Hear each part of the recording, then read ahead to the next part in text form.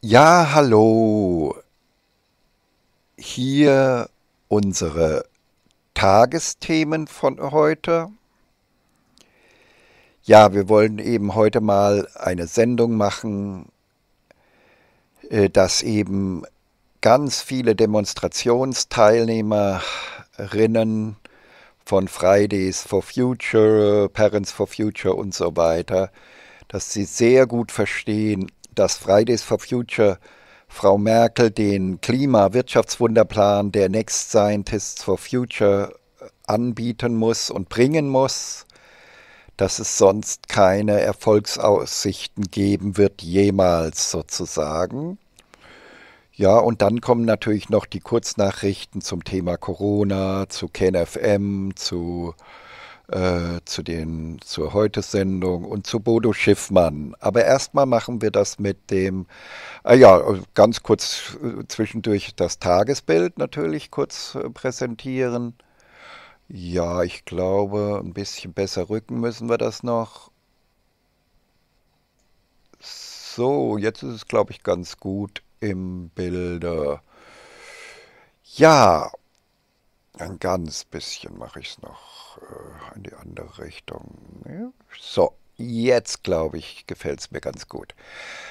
So, das ist unser Tagesbild und dann schauen wir uns doch mal an. Also wie, wie kommt man, äh, wie kommt man äh, zu den vielen Sendungen, zu den vielen Fridays for Future Schülerinnen und Schülern und äh, Parents for Future Teilnehmern der Demonstrationen, die also regelrecht begeistert waren von dem Lösungsansatz der Next Scientist for Future. Nur ist, ist, ist leider eben ein großer Unterschied zwischen den Orga-Teams äh, von Fridays for Future, wo wir mit, äh, ich habe ja gerade letztens wieder mit dem Leiter des Orga-Teams Fridays for Future Köln gesprochen, hatte ja lange Gespräche mit einem äh, Orga-Team-Mitglied aus Süddeutschland ja, hier sehen Sie also die Homepage.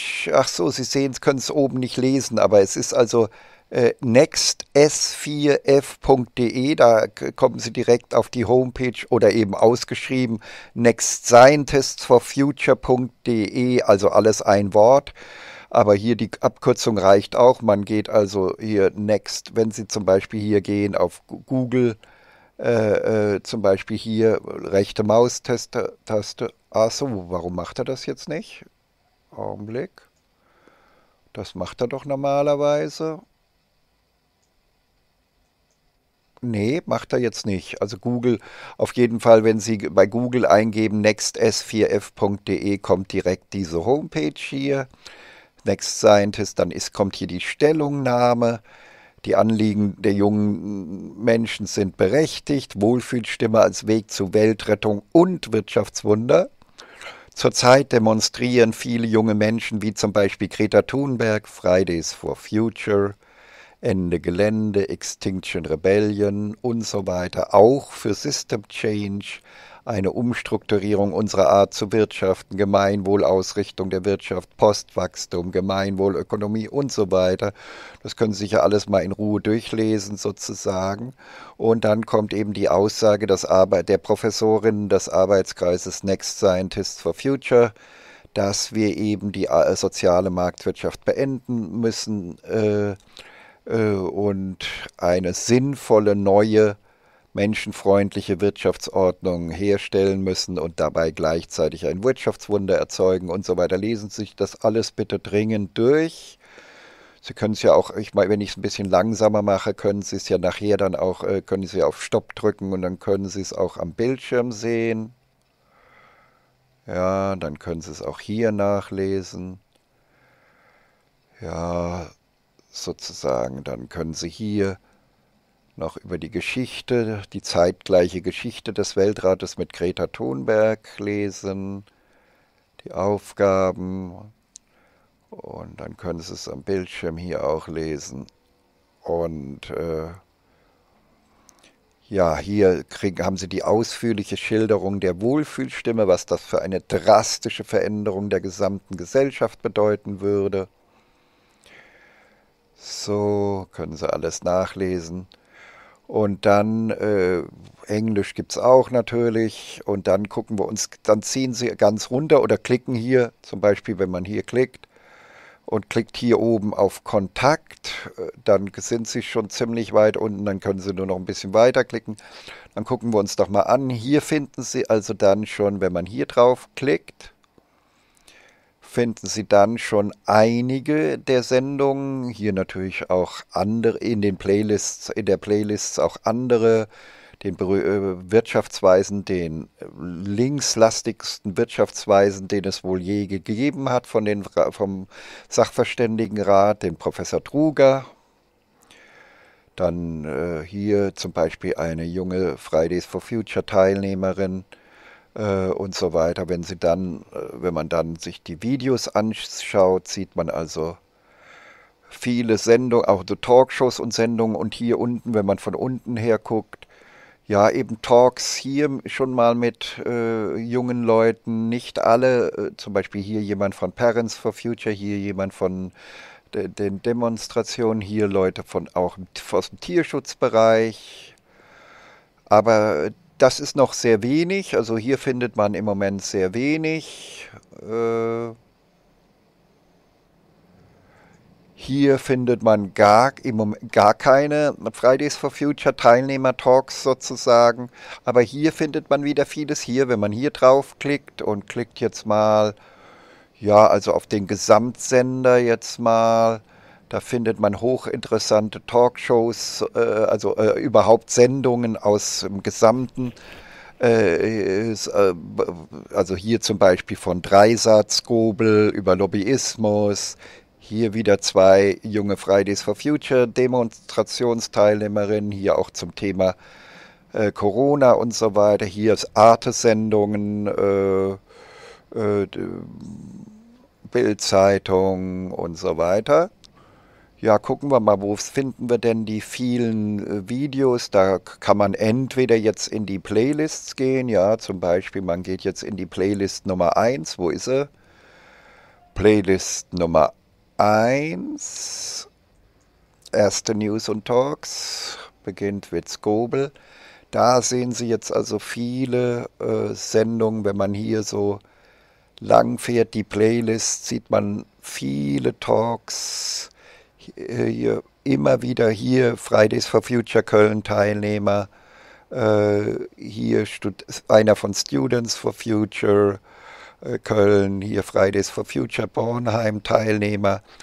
Und alle äußern sie sich äh, mehr oder weniger begeistert hier wieder und so weiter. Also wenn man, hier können Sie durchklicken durch, ja, vielleicht 100 Talks mit Fridays for Future Teil, äh, Demonstrationsteilnehmern und Sie finden da also äh, lauter junge Leute,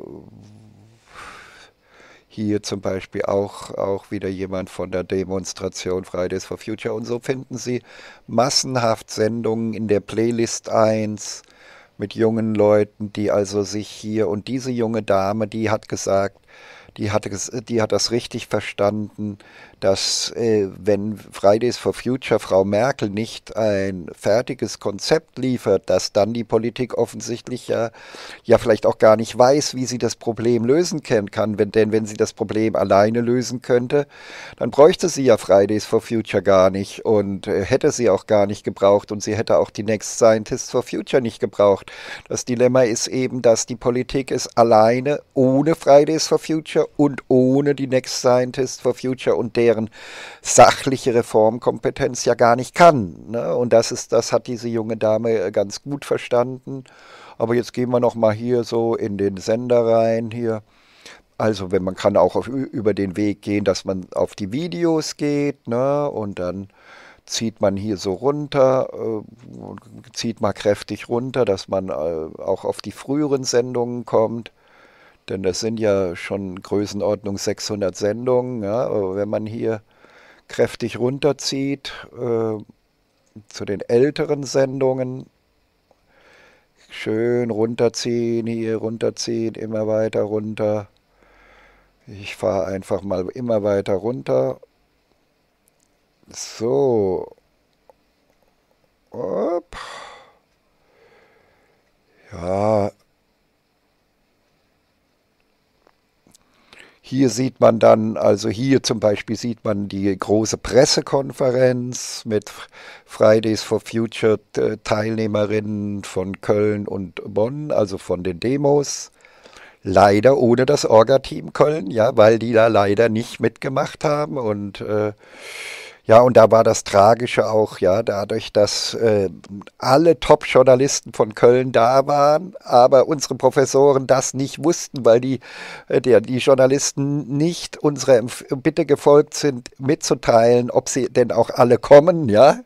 Äh, wenn wir die Nachricht gehabt hätten, dann wären natürlich hier lauter unserer Professoren auch anwesend gewesen weil, äh, aber da sie nicht wiss, wussten, dass alle diese Journalisten, Bildzeitung, WDR und äh, Kölner Stadtanzeiger und so weiter, dass die dann alle vollständig versammelt waren, da, da wir das nicht wussten, sind die Professoren auf, äh, die, die konnten ja nicht auf Verdacht anreisen, ne? Schluck Wasser. Leider, sonst wäre das wahrscheinlich eine ganz große Geschichte gewesen und es wäre nicht nur der kleine Bildzeitungsartikel erschienen, sondern wahrscheinlich eine Schlagzeile überall, eine Tagesschlagzeile.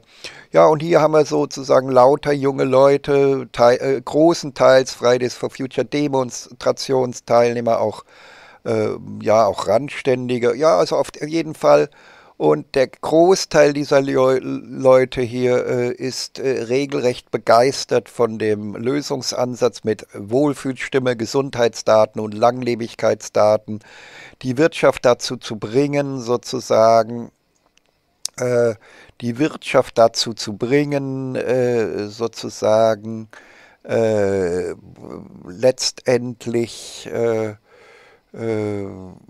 sozusagen ja, eben menschenfreundlich zu werden und Umweltreparatur zu tätigen. Ja, also nur der Ansatz der Next Scientists for Future schafft es, dass die Wirtschaft selbst zum Umweltreparierer wird, weil sie daran zukünftig ein wirtschaftliches Interesse haben wird durch die Wohlfühlstimme, die Gesundheitsdaten, die Langlebigkeitsdaten. Ja, ja, also hier lauter junge Leute. Ja, ich mache mal nur ein Beispiel hier zum Beispiel drei junge Leute, die also auch auf den Demonstrationen waren, hier äh, was, zum Beispiel, ja. Und, und so weiter. Ja, also, äh, ich gehe mal wieder zurück. Hier, also massenhaft Talks hier, jemand von Fridays. Ich weiß nicht gar nicht, ob dieser junge Mann beim Orga-Team mit dabei war, aber eben äh, lauter Talks solltet ihr euch alle anhören, denn und euch von den Demonstrationsteil, also quasi die Orga-Teams sollten sich von den Demonstrationsteilnehmerinnen und Teilnehmern überzeugen lassen, dass dies nur die Next Scientists for Future und eine Zusammenarbeit äh, zwischen den beiden Gruppierungen Fridays for Future und Next Scientists for Future.de äh, äh, eben die einzige Realisierungschance ist, wirklich was zu erreichen. Sie sehen es, was für Massen an Talks das sind, auch mit Studenten und ja, also massenhafte Talks und, und Sendungen. Also jedenfalls, äh, ja, also massenhaft. Also liebe Fridays for Future, also Kohlestopp 2026 900 Milliarden Euro, sieben Jahre Plan fürs Klima, den Klimawirtschaftswunderplan, das können alles nur die Next Scientists for Future, das kann niemand sonst auf der Welt. Und wie gesagt, äh, Frau Merkel hätte das alles längst gemacht, wenn sie es gekonnt hätte Sie kann es aber nicht ohne die Next Scientists for Future. Sie weiß nichts von den Next Scientists for Future. Man kann diese Leute ja auch nicht erreichen und so weiter. Die sind ja abgeschirmt wie, wie sonst etwas und die erreicht ja gar nichts sozusagen.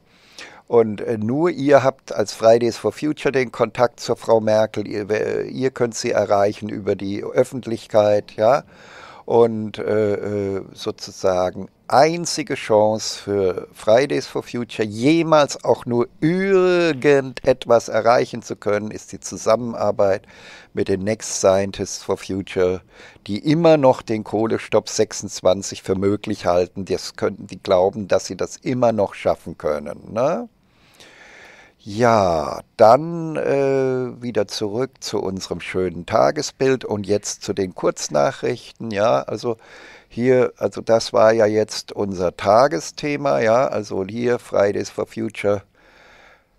Schülerinnen Köln verstehen, dass Fridays for Future Frau Merkel den Klimawirtschaftswunderplan bringen muss und dass sonst keine andere Chance wohl bestehen wird. Ja, und äh, traurig, dass das die Orga-Teams bis jetzt immer noch nicht verstanden haben. Ja, dass das äh, dass diese Sendung ist ja auch nochmal ein Versuch, genau das zu erreichen. Ja, ja, dann nochmal jetzt die Kurznachrichten, also zur gestrigen Heute-Sendung. Kein Wort von Kranken und Toten.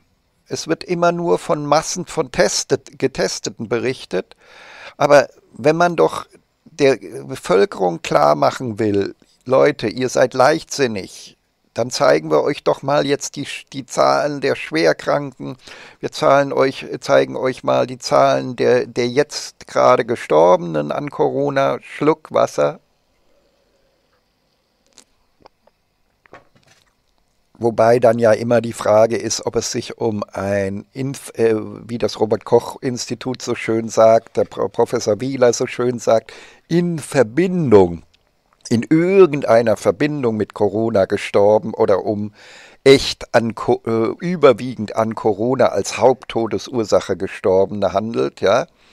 Aber wie gesagt, die öffentlich-rechtlichen Medien könnten es sich doch ganz leicht machen. Sie könnten, bräuchten doch nur statt von Massen an Getesteten zu reden, müssten sie reden von, äh, von und die berichten über die Schwerkranken und Toten an, mit Corona und so weiter.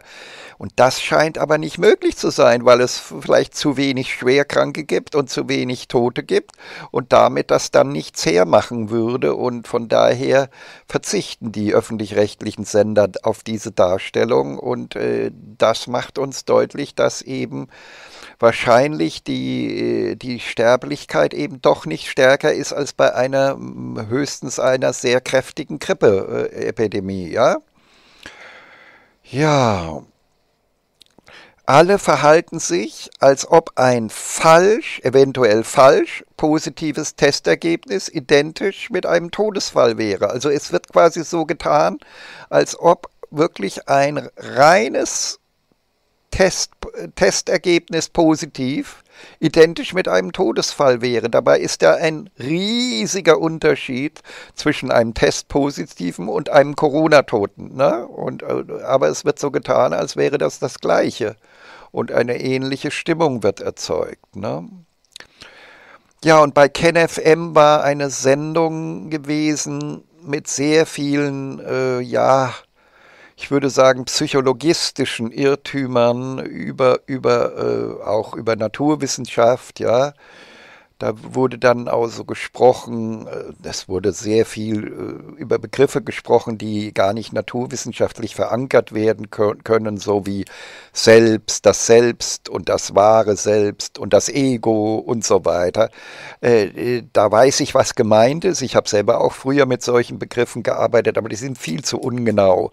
Wir wissen heute ja, dass die gewinnbringenden Irrtümer, die vorteilbringenden Irrtümer, und die karrierenfördernden Irrtümer das ganze Entscheidende sind, was die Psyche der Menschen mit, äh, mit äh, sozusagen negativen Dingen vollfüllt oder eine Gehirnwäsche darstellt oder eine Massenmanipulation darstellt. Schluck Wasser.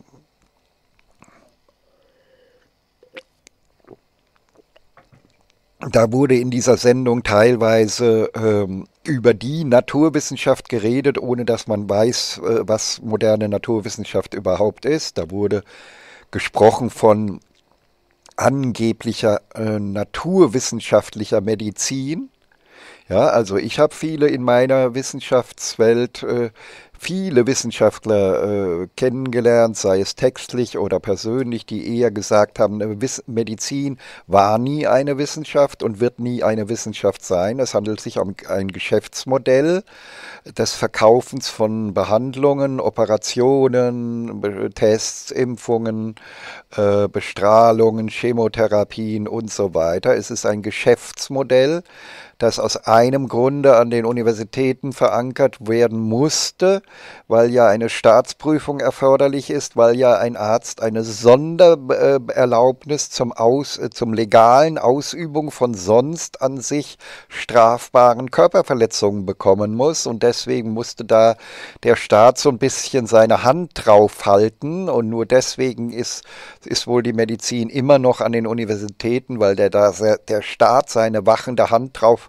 halten muss, dass da nicht die Körperverletzungen unter dem Vorwande der Heilungsabsicht sozusagen nicht überhand nehmen und am Ende nicht die Körperverletzung über allem dominiert. Äh, denn dafür muss ja der Arzt in einer Staatsprüfung eine Sondererlaubnis bekommen. Denn wenn ein anderer eine Spritze setzen würde, eine Impfspritze, dann würde er sofort ins Gefängnis wandern wegen, wegen äh, Körperverletzung äh, und das wäre eine strafbare Handlung. Nur, äh, nur jemand mit, mit Sondererlaubnissen und Staatsprüfungen und so weiter äh, kriegt ja diese Erlaubnis zur Körperverletzung zum Beispiel. Auch Heilpraktiker kriegen diese Erlaubnis im begrenzten Umfange. Ne? Ja, und äh, das heißt also, äh, ja, wir, ob Medizin überhaupt, ob es überhaupt glücklich ist, Medizin im Kontext äh, äh, der Wissenschaft zu haben, dass genauso müssten wir genauso äh, die Frage ist halt, wir haben ja auch an den Universitäten keine Fast-Food-Ketten und deren Geschäftsmodell an den Universitäten. Und da würde ja auch jeder klar sehen, dass das bedenklich ist. Aber bei der Medizin war wohl der tiefere Hintergrund, dass eben der Staat seine wachende Hand über diese gefährliche Disziplin haben muss, weil ja da Körperverletzungen erlaubt werden von Staatswegen. Und das ist äh, etwas, wo der Staat wohl mit seinen staatlichen Universitäten die Hand darüber halten wollte. Ne? Aber das bedeutet eben nicht, dass es eine naturwissenschaftliche Medizin gibt, sondern genauso wie, die, wie es bei der alten Volkswirtschaftslehre den Versuch äh, gab, äh, dass man sich einen pseudo-naturwissenschaftlichen Anstrich versucht hat zu geben, äh, äh, das ist genauso wie wenn sich die Medizin jetzt versucht, einem pseudo-naturwissenschaftlichen Anstrich zu geben. Das ist nicht, das ist nicht die Realität. Die Realität ist, äh, also die Verwalter der äh, sozusagen äh, der echten Naturwissenschaft in der Welt sind eben die Next Scientists for Future, ist der World Council of Wise People, die, der Weltrat der Weisen. Hier geht es darum, dass echte Physik plus echte Chemie plus echte Biologie besonders echte Evolutionsbiologie und echte inklusive echter aller Echt Varianten von echter Psychobiologie, Evolutionspsychologie, Soziobiologien und so weiter. Alles die, die echten Anteile ein Gesamtbild liefern, das äh, die gesamte Menschheit, gesamte Volkswirtschaft, es gibt ja dann intern die äh, neue naturwissenschaftliche Volkswirtschaftslehre, es gibt die äh, äh, sozusagen die korrigierte und komplettierte mimetisch-genetische Evolutionsbiologie. Das ist echte Naturwissenschaft sozusagen. Und die sagt, Nein, in der Medizin sind uns zu viele gewinnbringende Irrtümer drin, zu viel äh, vorteilbringende und karrierefördernde Irrtümer. Äh, das können wir nicht als, äh, als Wissenschaft, geschweige denn als Naturwissenschaft jemals akzeptieren. Ja, also das, das hat nichts mit Naturwissenschaft zu tun.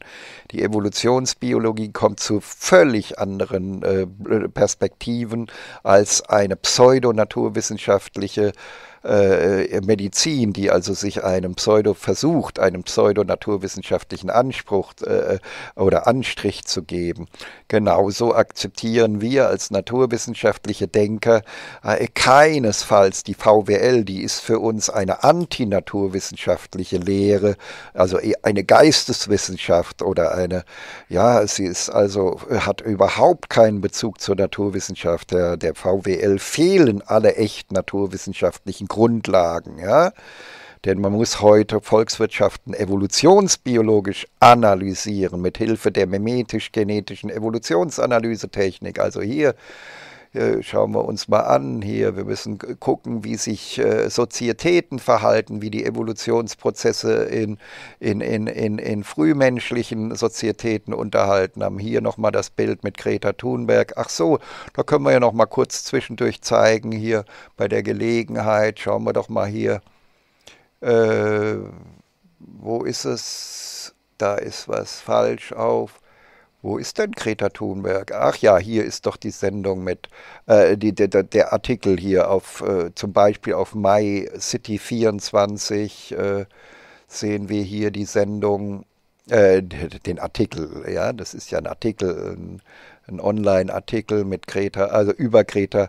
Und da war das Thema hier, äh, holen Greta Thunberg und die Four Futures, die gewünschten, also wir gehen ja davon aus, dass sie sich 900 Milliarden fürs Klima wünschen, äh, die gewünschten 900 Milliarden fürs Klima am 18., 19., 5., 19 war das Angebot schon, ja, ab äh, oder verfallen diese. Da hätte ja die Großpressekonferenz stattfallen sollen, stattfinden sollen sollen.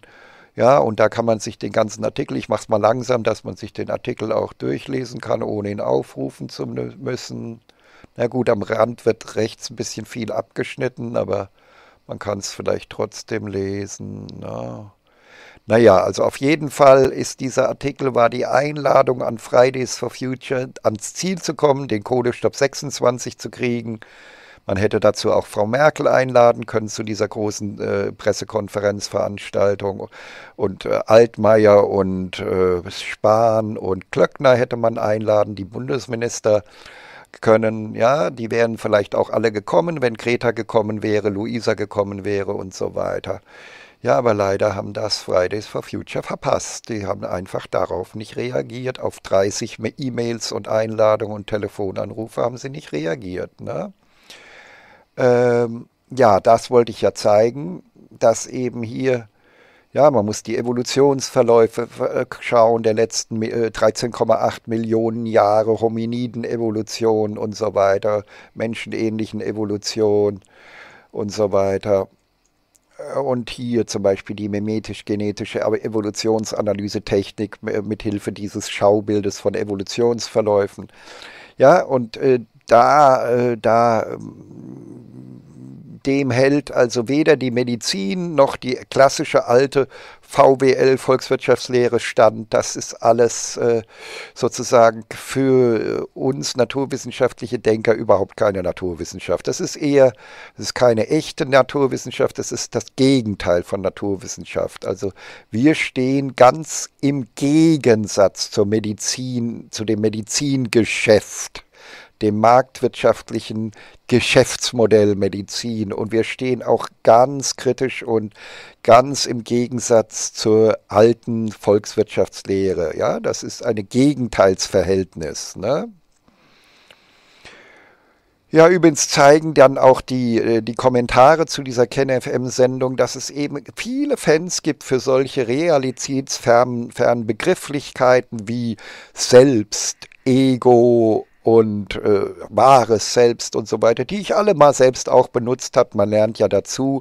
Also man, äh, man kann Realität nur erfassen ohne diese irreführenden Begriffe. Ne? Das sind ir alles Irrtumsbegriffe. Aber man sieht, wie total beliebt solche Sendungen sind. Es gibt ja eben, wie gesagt, Massen an Menschen, die wollen ja auch, äh, also hier, wir, die ganzen weniger gebildeten Teile der Gesellschaft wollen ja eben auch was haben, äh, was sie gut finden und was man mit wenig Wissen und mit wenig Bildung dann akzeptieren kann. Und da gefallen einem dann solche vereinfachenden Begriffe wie Selbst und Ego und wahres Selbst dann gut und so weiter, obwohl sie mit äh, gar keine Basis in der Realität haben, in der naturwissenschaftlichen Realität. Äh, wir, wir, in, der, in, der, in der naturwissenschaftlichen Psychologie dürfen wir heute nur noch sprechen von Irrtümern, gewinnbringenden Irrtümern, vorteilbringenden, karrierefördernden Irrtümern, dadurch ausgelöste Gehirnwäschen und Massenmanipulationen und so weiter. Aber äh, das, das, das ist die, sind die Begriffe, die wir in der Psychologie heute brauchen. Äh, Menschen können im Kopf Wahrheiten haben und sie können im Kopf Irrtümer haben und, äh, und der Rest aller psychologischen Spekulationen hat sich naturwissenschaftlich leider nicht bestätigen lassen. Ja? Also die naturwissenschaftlichen Teile der Psychologie gehören zur echten Naturwissenschaft dazu, gehören also auch zu den Psychobiologien dazu. Aber äh, weitergehende psychologische, psychologistische Träumereien haben nichts mit Naturwissenschaft zu tun. Ne? Das muss man nochmal klarstellen. Ja? Ja, und Bodo Schiffmann hat in einer Rede sich doch sehr offensiv und sehr radikal geäußert. Also äh, äh, das war dann schon, das ging schon in so Richtung, so, ich wiederhole mal den Tenor dessen, was er in dieser Rede gesagt hat. Äh, äh, ja, diese, diese wenigen Reichen sind irgendwo, seien irgendwo, irgendwo das Problem und die müsse man irgendwie auf, aus dem Verkehr ziehen, auf eine Insel bringen oder sonst wie. Äh, solche Worte sind da gefallen und da waren so Namen wie Bill Gates, äh, Rockefeller und gibt, glaube ich, noch so ein paar Namen, die er genannt hat. Schauen Sie sich diese Sendung an. Äh, das war schon ziemlich heftig, das war schon eine Art Kontrastellung gegen die Reichen, während ja die Next Scientists for Future sagen, nein, wir müssen also lieber Herr Schiffmann, wir sollten kooperieren, aber wir müssen hier, wir müssen äh, ein ganz positives, wir müssen hier mit unseren geliebten Milliardärskönigen, mit unseren lieb, geliebten Politikkönigen, mit unseren geliebten Journalistenkönigen, mit unseren geliebten Lobbyistenkönigen müssen wir ein konstruktives Gespräch führen. Wir dürfen uns nicht kontra diese Personen stellen, denn die sind viel mächtiger, als wir jemals sein werden und einflussreicher. Äh, wir müssen mit ihnen positiv ins Gespräch kommen und ihnen erklären, wie eine Gesundheitsreform, eine Kombireform, Ernährung, Gesundheit und Pflege und 20 weitere Reformen inklusive einer Wohlfühlstimme als neue Wahlstimme, wie die Gesundheitsdatenerhebung, die äh, Langlebigkeitsdaten und die Wirtschaftswunderdatenerhebung und noch viele andere Steuerelemente, das Leben unserer Könige sozusagen viel gesünder, viel glücklicher, viel langlebiger, viel mehr Wohlbefinden, viel mehr Wohlfühlen, vielleicht sogar um den Faktor 20, ja, eine viel höhere Lebensqualität können wir diesen Personen anbieten, ja, und äh, äh sozusagen. Und das, so müssen wir vorgehen, lieber Bodo Schiffmann, und nicht in ein Kontra gehen, nicht sozusagen sagen, die, die wollen wir aussondern, die sind das Problem und so weiter, sondern eben äh, lassen Sie uns da lieber in die äh, Zusammenarbeit und den Dialog gehen und gemeinsam die neue Welt starten und äh, die die Next Scientists for Future ja fertig entwickelt haben und die Erdkugel in einen neuen gesunden Planeten, der sich nie wieder über Schweinegrippen oder Corona-Erscheinungen äh, äh, Sorgen machen muss, weil die, das gesamte Gesundheitssystem fürstlich belohnt wird für Gesundheitsförderung, für Krankheitsverhinderung, für Immunsystemstärkung, sodass dann die Immunsysteme über solche Viren in Zukunft weltweit lachen werden. Ja, ja also äh, das war's jetzt zu dieser ich muss mich jetzt darum kümmern. Wir sind dabei, einen äh, Corona-Ausschuss, äh, Probesitzung mit unseren Professoren, Doktoren und so weiter, unserer Unterabteilung, unserem Corona-Team sozusagen vorzubereiten, das dann vielleicht hoffentlich 100.000 äh, von Men Menschen erreicht sozusagen. Äh, und da muss ich mich jetzt drum kümmern. So muss ich jetzt also mal unsere, diese, unser Tagesthema beenden und ich beende unsere heutige wissenschaftliche Tagesschau heute. Ähm, wo ist es? Tschüssi, bis bald.